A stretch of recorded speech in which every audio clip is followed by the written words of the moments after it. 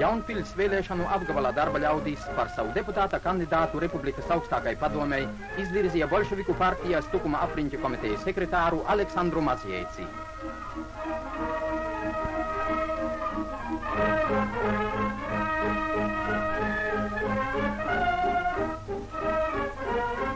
Kā īsts tautas kalps, kas visu savus spēkus atdod apriņķa saimnieciskās un kultūrālās dzīves atjaunošanai, biedrs Maziecis ir gaidīts viesis gan zemnieku sētā, gan ciema padomē, gan mašīnu traktoru stacijā.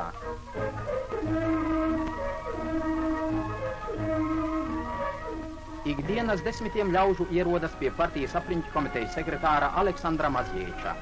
Gan apriņķa organizāciju darbinieki, gan tukuma iedzīvotāji, gan arī pagastu zemnieki griežas pie biedra Mazjēča savās vajadzībās, griežas pēc padoma un norādījumiem. Visi viņi zina, ka partijas apriņķa komitejas sekretārs nelieks tiem savu padomu un palīdzību, nelieks biedrisku draudzīgu vārdu.